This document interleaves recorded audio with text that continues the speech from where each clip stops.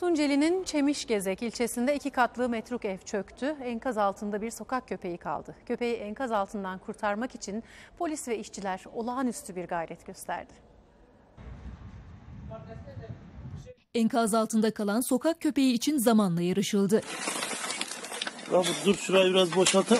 Olayda Tunceli'nin Çemişgezek ilçesinde iki katlı metruk bina çöktü. Enkaz altında bir sokak köpeği mahsur kaldı. Köpeğin yardımına polis ekipleri ve işçiler koştu. Köpeği enkazdan kurtarmak için kazma ve küreklerle titiz bir çalışma yürütüldü. Arkadaşlar dikkat edelim. Bir şey etmesin.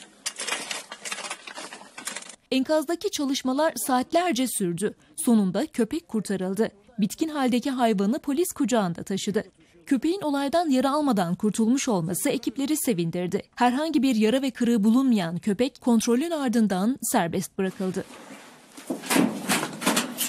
Komiserim dikkat edin düşmeyin.